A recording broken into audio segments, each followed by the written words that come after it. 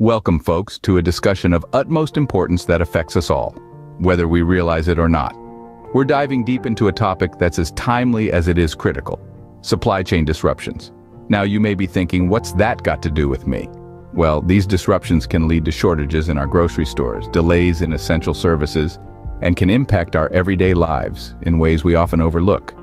It's not just about getting your favorite cereal on time, it's about the bread and butter of our survival. Food, water, medicine, and fuel. That's why being prepared for such events, ensuring our self-sufficiency and security, is paramount. But don't worry, we're not here to scare you. We're here to prepare you. So stay with us till the end to learn key strategies and resources that can help you navigate these disruptions. First, we need to understand what we're preparing for. Let's take a moment to unpack the term supply chain disruption. It's a break in the flow of goods or materials. This can be caused by a variety of factors, from natural disasters like hurricanes and earthquakes to human-triggered events such as pandemics or geopolitical issues. Think about a typical grocery store. The food there doesn't just magically appear. It's part of a complex network that starts with farmers, moves through processors and distributors, and finally lands on your local shelves. Now imagine a severe storm hits a major distribution center. Suddenly, that flow of goods is disrupted. The same goes for any other essential items and services we rely on daily. But why should you, as an aspiring prepper or seasoned survivalist, care about these disruptions? Well, the impact can be profound. If a disruption occurs, we could see shortages of food, water, medical supplies, and even fuel. In a world where we're used to having everything at our fingertips, the thought of not being able to access these essentials can be daunting. Supply chain vulnerabilities can also lead to price hikes. With demand outstripping supply, costs for basic goods can skyrocket, putting an extra strain on families already dealing with the fallout of a disruptive event. But it's not all doom and gloom. By understanding these vulnerabilities, we can better prepare. We can anticipate the potential challenges and create a plan to ensure our self-sufficiency and security. This is the core of prepping, not just reacting to a crisis, but proactively planning to mitigate its effects. Remember, knowledge is power. By understanding the vulnerabilities in our supply chains, we can better prepare for potential disruptions. We can stockpile essential items, develop alternative methods for obtaining necessities, and learn skills that can help us survive and thrive in a disruptive event. It's a big task, yes, but it's not insurmountable. With the right information, tools, and a bit of determination, we can turn potential vulnerabilities into opportunities for growth and resilience. Knowing these risks is the first step in being prepared. So let's roll up our sleeves and dive into how we can prepare for these potential disruptions. Now, let's talk about two of the most basic necessities, food and water. When it comes to food storage, it's vital to think long-term. We're not just talking about a week or two. Imagine if you had to sustain yourself and your family for months or even a year. This is where non-perishable food items come into play. Canned goods, dried beans, rice, pasta, powdered milk, and freeze-dried meals are all excellent choices. They have lengthy shelf lives, providing a food source you can rely on when fresh produce may not be available. But remember, it's not about hoarding or causing panic in your local grocery store. It's about gradually building up your supplies. Start by buying a few extra items each time you shop, focusing on foods you and your family enjoy and will actually eat. Now, let's switch gears to water. Clean water is even more crucial than food. The human body can survive for weeks without food, but only a few days without water. It's recommended to store at least one gallon of water per person per day, and don't forget about your pets. Consider investing in water purification systems like filtration units or purification tablets. These can turn potentially unsafe water into a drinkable supply, Rainwater collection systems and wells are also great options, providing a renewable water source that's independent of municipal supplies. Storage is also key. Whether you're using commercially bottled water or filling your own containers, ensure they're food grade and thoroughly cleaned. Store them in a cool, dark place to prevent bacterial growth and check the water periodically to ensure it stays fresh. In all this, moderation is key. It's not about fear, but forethought.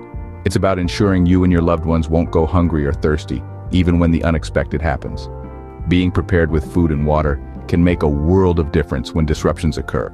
Remember, the goal isn't just survival, but maintaining a level of comfort and normalcy in challenging times. So, let's get prepping. Beyond food and water, disruptions can affect power and healthcare. So let's talk about energy first. When the grid goes down, you don't want to be left in the dark. Backup power options can be a lifesaver. Solar panels are a great renewable energy source, and they're getting more affordable every year. They can keep your lights on, power your devices, and even run your fridge. Generators are another solid choice, especially if you live somewhere with less sunshine. They can run on propane, natural gas, or gasoline, but remember, you'll need to store enough fuel. Hand crank devices are another handy tool. They won't power your entire house, but they can charge a phone or a radio in a pinch. Now, on to health and wellness. In a disruption, you might not be able to run to the pharmacy or see a doctor. That's why it's essential to build a comprehensive health and wellness kit. Start with a basic first aid kit, but don't stop there. Add over-the-counter medications for common ailments like colds, allergies, and stomach issues. Include supplies for long-term disruptions like bandages, antiseptics, and tools for minor surgeries. A manual on basic medical procedures could also be a lifesaver. And remember, wellness isn't just about physical health. Mental health is just as important. Include items that can help reduce stress and maintain morale like books, games, or a favorite treat. Lastly, consider taking a first aid course or learning basic medical procedures. Knowledge is power, especially when it comes to your health. In conclusion, preparation for power and health disruptions is a vital part of self-sufficiency. It may seem daunting at first, but with time and effort, you can build a comprehensive backup power system and health kit. And remember, every step you take towards self-sufficiency is a step towards resilience and independence. With power and health taken care of, you're well on your way to being prepared. Preparation goes beyond stockpiling. It's about developing skills for self-sufficiency. Let's dive into the heart of survival skills, starting with gardening. You might be thinking, I can't even keep a houseplant alive. Well, don't fret. Gardening is a skill that can be learned and improved upon. Start with easy-to-grow vegetables like tomatoes and peppers, then gradually expand your garden to include a variety of crops. This will not only provide a steady stream of fresh produce, but also reduce dependency on external food sources. Now you might be wondering, what about protein? That's where small-scale livestock farming comes in. Chickens, for instance, are a great starting point. They're relatively easy to care for, offer fresh eggs daily, and can be a source of meat if needed. Rabbits are another excellent choice, being high in protein and easy to breed. But what if your garden doesn't thrive? Or your livestock encounters issues?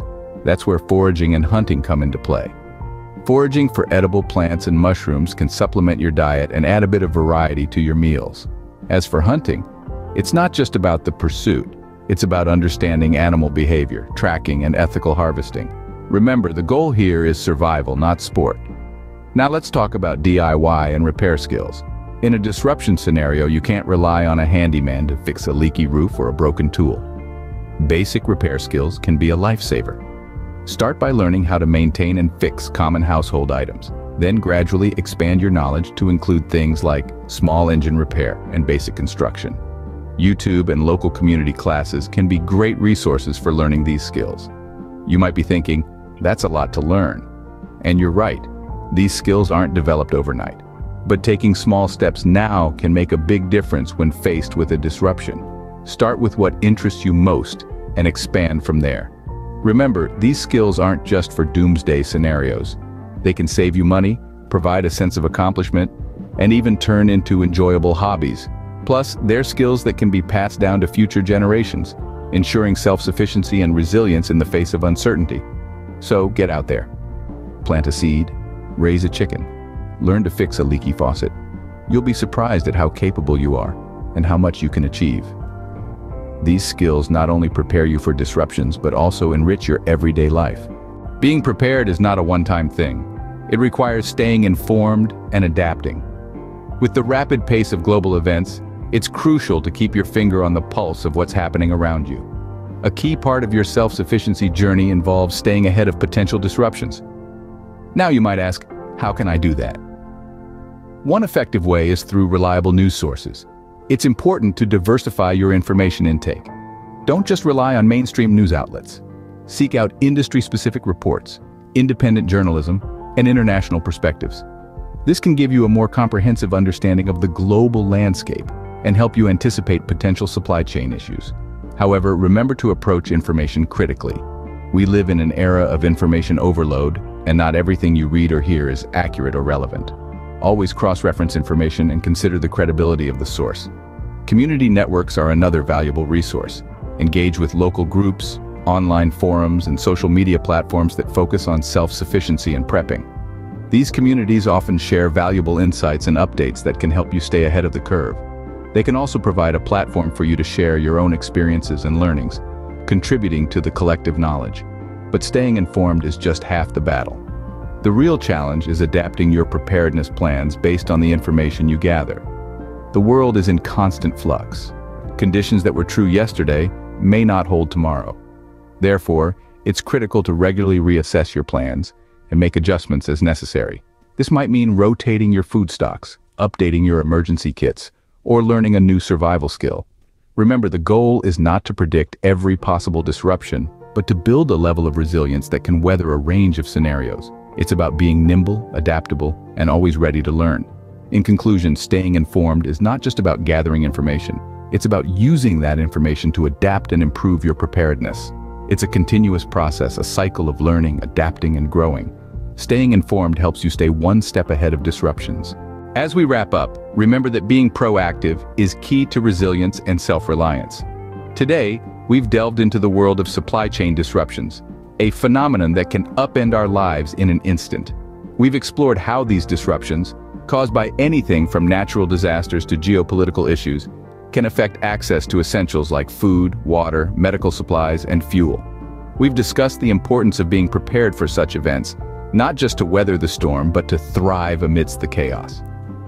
Preparing for these disruptions is not about creating panic or hoarding resources.